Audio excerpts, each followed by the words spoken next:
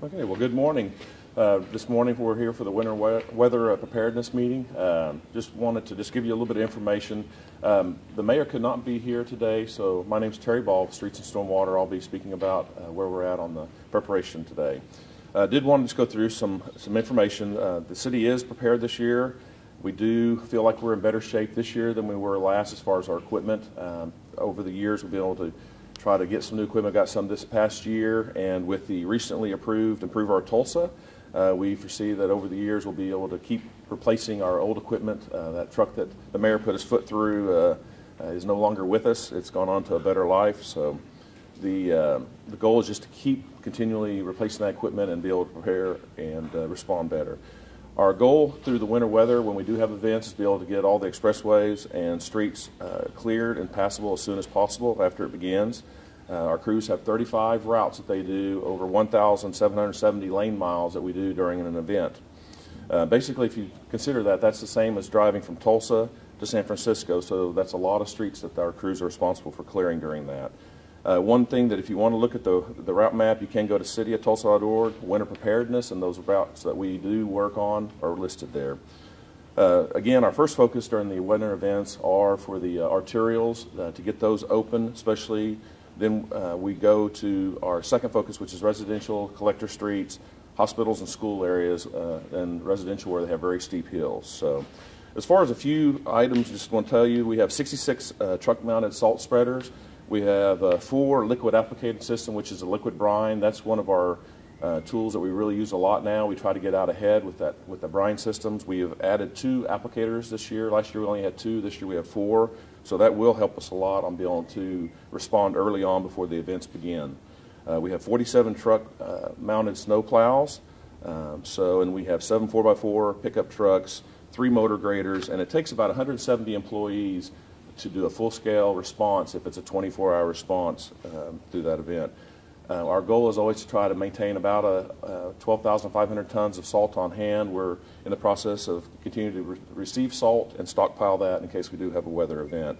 And again, we have two salt brine mixing systems, one here at this yard, which is the west yard, and we have one over in the east yard where we refill those brine trucks that go out and, and apply to the bridges and overpasses and get ready for the storm that may come. So. Other than that, I'd like to introduce Steve Piltz. He's the meteorologist in charge with the National uh, Weather Service. And Steve? Sure. Good morning, everyone. Just a couple of things uh, about storm preparedness, and I'll tell you a little bit about the winter outlook. One thing to keep in the back of your mind as we go through any kind of winter storm event this upcoming season, something you guys could file away that we need to hit after we've had a storm is is um, carbon monoxide safety and generator use. That's something that we always end up losing folks after a big event because they lose power, they lose heat for whatever reason in the storm, in the storm, in the cold, and they use some kind of word burning device that's not properly ventilated that can be dangerous, and so the carbon monoxide poisoning is a real threat. And also just safe generator use. So as you think of everything else that we need to talk about, slowing down, being safe, all the other stuff we want to do before winter storms get here, after the storm has hit, if you guys can run stories and talk about that a little bit, I think that would, that would be a good thing. Uh, from the National Weather Service standpoint, we're basically in, in almost continuous contact with the city of Tulsa before and during winter storm events. Uh, we will sometimes begin to call uh, briefings where we start talking to government leaders in the area two or three days before a storm, and then we'll do that daily. And then we can stay in constant radio and internet and, and other communications means so that we, we can pass information back and forth because it's not only important for us to hear, for us to be able to communicate what we think, it's good for us to get feedback from the city to know how is the storm evolving, is it, is it what we think it is, so that we can tailor our messages that go out to the public as well. A little bit about the winter outlook, and you guys know if you've, if you've ever heard me talk about this, we, we actually have very little skill in winter outlooks. Uh, weather in Tulsa is hard enough, two or three days out, two or three months out, it's, it's even a bigger deal. But when you start talking about seasonal outlooks, the, that forecaster starts thinking about the oceans. And, and that's because 70% of the Earth's surface is covered by water, and water holds a lot of heat. And so the oceans do have a lot to say about what goes on in the climate. And so you'll hear a lot of conversation about El Nino, which is warmer Pacific water near the equator, and La Nina, which is cooler than normal Pacific water near the equator.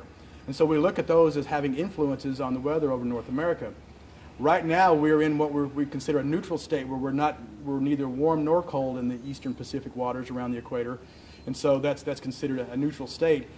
But we can still kind of dig into some things a little bit. Now, the official forecast from the National Weather Service's Climate Prediction Center has equal chances for above, below, and near normal temperature and precipitation. But if you dig a little bit more like we've done in the office here and look just at the winters that have been neutral since 1990, we can say that there's a little bit of a tendency to lean towards a little bit warmer than normal as far as, as the overall winter season goes. And really, we looked at January, February, and March as, as, as the forecast time period that we were looking at.